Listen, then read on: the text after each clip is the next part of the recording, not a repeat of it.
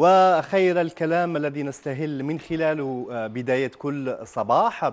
هو حكمة اليوم والتي تقول عليك أن تتعلم قواعد اللعبة أولا ثم عليك أن تتعلم كيف تلعب أفضل من الآخرين.